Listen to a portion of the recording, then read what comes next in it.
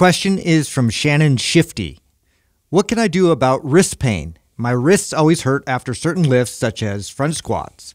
Is there a way to strengthen my wrists, or is it a mobility issue? Mm. You know, I went through a period of time, um, and I know Justin, you did a lot of stuff on this too, I did, because yeah. because you you do a lot of front squats with that front Big rack ri- big wrist guy. Yeah, Okay. he's a big wrist. Lots of guy. wristing. Uh, um, I I did this for a while because I went through a period of time where I was trying to do, be able to do uh, lots and lots of push-ups. I had read a book. Um, I can't remember the name of the book, but it was like a fitness for martial arts book, and, and push-ups have always been big Mhm. uh, in martial arts. And the problem when I did a lot of push-ups is I noticed I had to switch to to like to those handles where my hands were in a neutral position because if I just put my hands flat on the floor, it would start to hurt my wrist. And I thought, oh, I just I'm just going to use these handles all the time. Then I read this article um, that talked about uh, how to prevent that. And what the guy in the article said was, is he said, when you do push-ups on the ground, grip the floor. Mm-hmm. So now you can't grip the floor. Obviously, I'm not actually taking a grab of the floor. But what I was doing is I was just activating my fingers and the muscles of my forearms, and I noticed my my wrist pain went away, and I didn't really think much of it. Later on, as I was training clients and I would teach them this, I realized why this helped alleviate pain.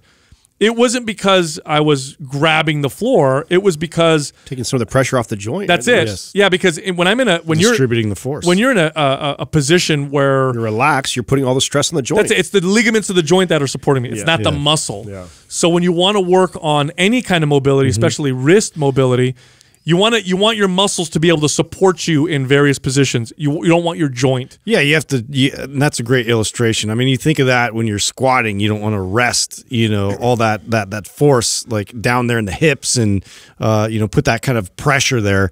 Uh, it's the same thing with the wrists, and and yeah, that. I mean, that's a great way to look at it. I, I used to also grip, uh, you know, use towels and things to really help enhance, you know, those muscles and ligaments to respond and get them to strengthen uh, by using various techniques. And, you know, even with the fist, doing push ups on my fist and then like really squeezing, uh, you know, uh, a tight, tight fist as I was doing push ups. It's just really about getting them to respond and create uh, more r- recruitment there uh, to help, uh, you know, distribute that force Yeah, out. you want a, a great way to work on because this guy's this or this girl, sorry, said uh, the front squats bother them. So first off, you can change your grip on a front squat, so you can do the bodybuilder style, hands crossed. But of course, that doesn't address the actual issue. That's just replacing it. Um, in the meantime, you want to be able to activate the muscles of your forearms while they're in that flexed front rack uh, position. So what I just said with the push-ups is actually a great way to do that. When you get on the floor, don't you don't need to do a push-up, just get in a plank position, and then while you're in that position, try to grab the floor. Spread your fingers and mm-hmm. and grab the floor so that you can activate those muscles and practice holding that position. Create tension there.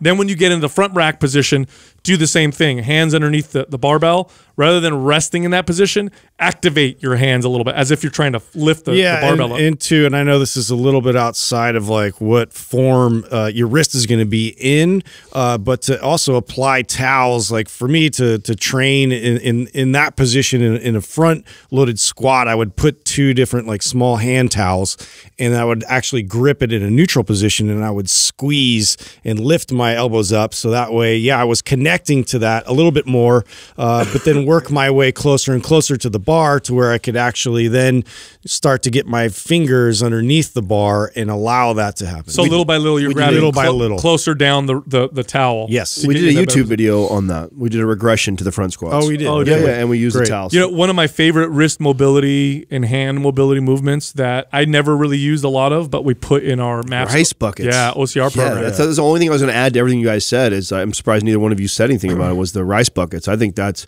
that was a game changer for my clients. That carpal tunnel had any sort of forearm. I wish. I'd have known that. I didn't use it beforehand, Oh, but I started using it. I was like, oh my God, I could totally feel everything get connected and, and respond. It's an old martial art uh, uh, method of strengthening the fingers, hands, and, and the and the wrist. So here's what you do. If it's super simple. You get yourself a bucket, fill it up with rice, stick your hand all inside the rice, and then move your hand and your fingers through full ranges of motion, flexing, extended, open Spread the fingers, out, yeah. close, and just practice moving. And it's harder than it sounds because obviously the rice provides resistance, um, which is great now. You're strengthening all the different ranges of motion. Great mobility exercise.